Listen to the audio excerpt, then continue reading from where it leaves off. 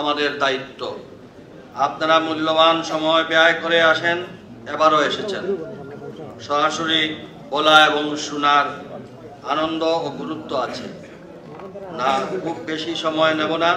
যথাসম্ভব সংক্ষেপে আমার বক্তব্য শেষ করব। সুধীজন,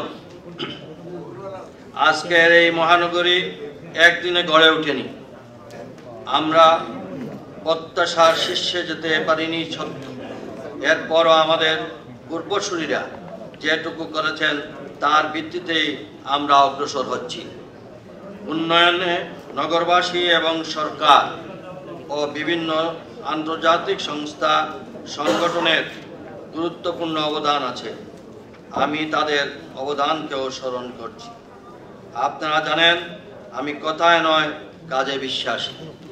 এরপরও বছরে একবার কিছু কথা বলতেই হয়। এই শহরে আমরা বাস করি। সিলেটে এখনও যান্ত্রিক নাগরিক জীবনের আত্মকেন্দ্রিকতা প্রবল নয়। পাড়া প্রতিবেশীর সঙ্গে সামাজিক বন্ধন এখনও বহাল আছে।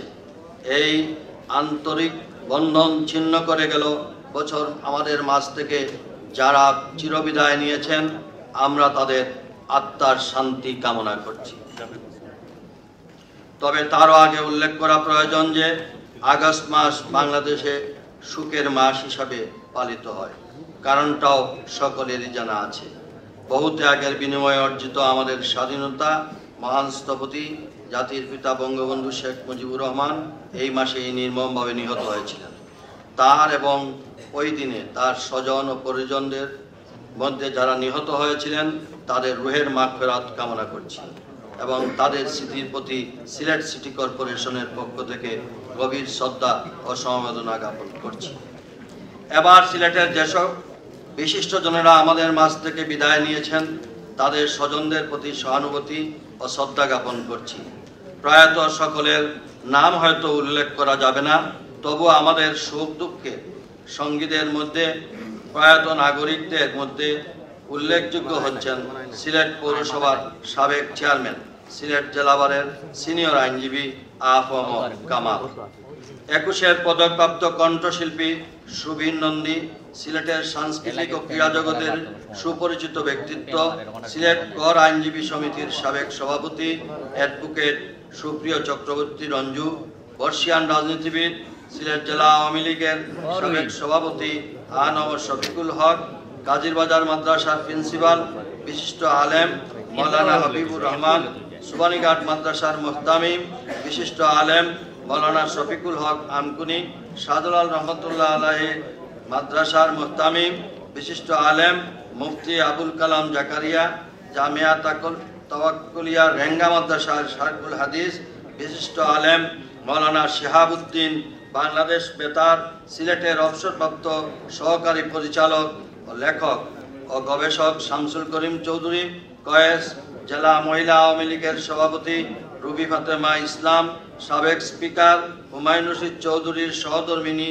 মেহজামিন চৌধুরী, সিলেট জেলা বিএনপির উপদেষ্টা আব্দুল হান্নান, এমসি কলেজের সাবেক অধ্যাপক নাগরিক নাগরি স্যার খ্যাত এর এরহাসুজ্জামান সাবেক এমপি বীর মুক্তিযোদ্ধা শাহ আজিজুর রহমান, সাবেক অধ্যক্ষ মুক্তিযোদ্ধা Ali Akbar Khan, north east board of trustees এর সেক্রেটারি আরিফ ইকবাল চৌধুরী, সাংস্কৃতিক ব্যক্তিত্ব শিক্ষানুরাগী জহির খান লায়েক যুব রাজনীতিবিদ ও আইনজীবী মঈনুদ্দিন আহমেদ, জালাল, যুক্তরাজ্য বাংলাদেশের কমিউনিটির সংগঠক, বীর মুক্তিযোদ্ধা কয়েসর মাহমুদুল হক সৈয়দ নগর গোয়েন্দা বিভাগের সহকারী কমিশনার জুবের আহমদ বিবিএম অধ্যাপক শহীদুল হোসেন স্ট্যান্ডার্ড ব্যাংকের প্রাক্তন ভাইস চেয়ারম্যান আব্দুল আহাদ ভাষা সৈনিক অপ্রগতিশীল প্রগতিশীল ও গণতান্ত্রিক আন্দোলন সংগ্রামের সংগঠক অ্যাডভোকেট মনির উদ্দিন আহমেদ সিলেট ছয় আসনের সাবেক MP A K M Gousuddin Karimullah মার্কেটের স্বত্বাধিকারী বিশিষ্ট ব্যবসায়ী আমানুল্লাহ, আয়কর আইনজীবী অ্যাডভোকেট নওরোজ আহমদ প্রাইম ব্যাংকের আঞ্চলিক প্রধান আবু আশরাফ চৌধুরী মসরু, সাংস্কৃতিক ও ফটো সাংবাদিক কুমার গণেশ পাল, সাবেক পৌর কমিশনার মকসুদ বদ কাউন্সিলর ফরহাদ চৌধুরী শামীমের মাতা, বিশিষ্ট সমাজসেবী মরহুম আলাউদ্দিন চৌধুরীর স্ত্রী রেজিয়া বেগম চৌধুরী, সাবেক কাউন্সিলর দিনার খান হাসুর পিতা আলহাজ সুলেমান খান দৈনিক সিলেটের ডাক এর সাবেক সম্পাদনা সহকারী মোহাম্মদ জামিলুর রহমান, জাহেদ শাহপুরান জামে মসজিদের খতিব ও শাহপুরান মাদ্রাসার মুহাদ্দিস মৌলানা খলিলুর রহমান, সাউথ ইস্ট ব্যাংকের উদ্যোক্তা ডাক্তার হুমায়ুন কবির, সিলেট সিটি কর্পোরেশনের উপসহকারী প্রকৌশলী আলতাফ হোসেন। প্রিয় সাংবাদিক অসচেতন সচেতন সুদীজন গত কয়েক মাস গুজব ও গণপিটুনি আতঙ্ক দেশবাসীকে সশস্ত্র সন্তুষ্ট করে রেখেছিল। সিলেটের নাগরিকবৃন্দ এক্ষেত্রে সচেতনতার পরিচয় দিয়েছেন। সিলেটবাসীকে এজন্য ধন্যবাদ জানাই। তবে কিছুদিন থেকেই ডেঙ্গু রোগের আক্রমণ, ভীতি আমাদের সবাইকে উদ্বিগ্ন করে তুলেছে। আল্লাহর রহমতে সিলেট এখন নিরাপদ বলা যায়। তবু নগরবাসীর সুরক্ষার লক্ষ্যে সিটি কর্পোরেশন সচেতন রয়েছে। ইতিমধ্যে আপনারা দেখেছেন সিটি কর্পোরেশন মশক নিধন কার্যক্রমের পাশাপাশি নগর জুড়ে পরিচ্ছন্নতা কার্যক্রম শুরু করেছি। এই কার্যক্রমকে কীভাবে আরও ফলপ্রসূ করা যায় এ ব্যাপারে আমরা ইতিমধ্যে স্বাস্থ্য শাখাকে নির্দেশনা দিয়েছি। পাশাপাশি নগরবাসীকেও সব সময় সচেতন থাকার অনুরোধ জানাচ্ছি। প্রিয় সাংবাদিক ও নাগরিকবৃন্দ সম্প্রতি আকস্মিক বন্যাকে কেন্দ্র করে সিলেট মহানগরবাসী যে অবর্ণনীয় দুর্ভোগের শিকার হয়েছেন, এবারের বাজেট বক্তৃতায় আমি সবার আগেই সেই বিষয়টি নিয়ে আলোকপাত করতে চাই। কারণ সাম্প্রতিক কয়েকটি বছর এই দুর্ভোগ মহানগরবাসীর কাছে অসহনীয় হয়ে উঠেছে, যা থেকে পরিত্রাণ পরিত্রাণের পথ আমাদের জরুরি ভিত্তিতে খুঁজতে হবে। এক্ষেত্রে বাস্তবতাকে স্বীকার করেই আমাদের সমাধানের দিকে এগিয়ে যেতে হবে। এখানে জলবদ্ধতা ও বন্যা দুটো বিষয়কে এক করে দেখলে চলবে না। দুটো বিষয় আলাদা। আমি মেয়র হিসাবে দায়িত্ব নেওয়ার পর থেকে ছড়া ও খাল প্রশস্তকরণ কার্যক্রম, কার্যক্রমে নিরলসভাবে কাজ করছি। যার সুফল হিসাবে মহানগরীর অধিকাংশ মানুষ এখন জলবদ্ধতার অভিশাপ থেকে মুক্ত হয়েছেন। ছড়া ও ড্রেন প্রশস্ত এবং অবৈধ দখলমুক্ত হওয়া এখন আর আগের মতো দীর্ঘ জলবদ্ধতার সৃষ্টি করে না, বরং বৃষ্টির পানি খুব তাড়াতাড়ি নেমে যায়। তবে বর্ষা মৌসুমে এবার মহানগরীর বেশ কয়েকটি এলাকায় যে বন্যা হয়েছে তা জলবদ্ধতা নয়। আপনারা সবাই জানেন, মহানগরীর ড্রেন ও ছড়ার পানি নদীতে, নদী দিয়ে প্রবাহিত হয়, কিন্তু সেই নদীও ড্রেজিং না হওয়াতে ভরাট হয়ে গেছে।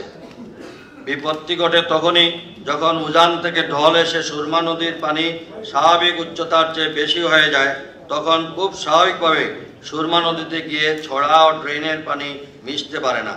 উল্টো সুরমা নদীর পানি মহানগরীর ছড়া দিয়ে ঢুকে অনেক এলাকা প্লাবিত করে ফেলে।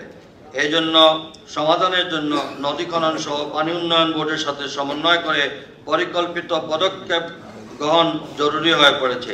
এই বিষয়টি আমি স্থানীয় সংসদ সদস্য ও বাংলাদেশ সরকারের মাননীয় পররাষ্ট্রমন্ত্রী ডাক্তার এ কে আব্দুল মোমিন মহোদয়ের নজরে এনেছি। আশা করছি বিষয়টি গুরুত্ব বিবেচনা করে বর্তমান সরকার এক্ষেত্রে কার্যকর পদক্ষেপ গ্রহণ করবেন। সুদীজন, পরিবহন ক্ষেত্রে সিলেট মহানগরীর জন্য বেশ কয়েকটি শুভ সংবাদ রয়েছে। তার মধ্যে অন্যতম হচ্ছে মহানগরীর সর্ববৃহৎ কদমতলী বাস টার্মিনাল আধুনিক আধুনিক কায়ন। বিশ্ব ব্যাংকের অর্থায়নে প্রায় পঁয়ষট্টি কোটি টাকা ব্যয়ে এই আধুনিকায়ন কার্যক্রম ইতিমধ্যে শুরু হয়েছে। উন্নত বিশ্বের আদলে কদমতলী বাস টার্মিনাল আধুনিকায়ন সম্পন্ন হলে এই এলাকার চেহারা পাল্টে যাবে। যাত্রীরা পাবেন আধুনিক ও উন্নত মানের সেবা। এখানে যাত্রীদের বিশ্রাম নেওয়ার জন্য কক্ষ, প্রাথমিক চিকিৎসা দেওয়ার জন্য থাকবেন চিকিৎসক, থাকবে অ্যাম্বুলেন্স। এছাড়াও প্রত্যেক রুট অনুযায়ী থাকবে আলাদা আলাদা বাস পার্কিং জোন, এন্ট্রি ও এক্সিটের জন্য থাকবে আলাদা আলাদা ব্যবস্থা। দুই হাজার বিশ সালের জুন মাসে এই প্রকল্পের কাজ শেষ হবে। এছাড়াও সিলেট মহানগরীতে নগর বাস সার্ভিস চালুর ব্যাপারেও আমরা আশাবাঞ্জক সাড়া পেয়েছি। এ ব্যাপারে নিটল টাটা গ্রুপের সাথে আমাদের আলোচনা চূড়ান্ত হয়েছে। নারীদের জন্য আলাদা বাস সার্ভিস চালুরও আমরা পরিকল্পনা নিয়েছি। সিলেটবাসীর দীর্ঘদিনের একটি দাবি, ট্রাক টার্মিনালের নির্মাণ কাজ সম্পন্ন হয়েছে। এখন শত শত ট্রাক এই টার্মিনালে রাখা হচ্ছে।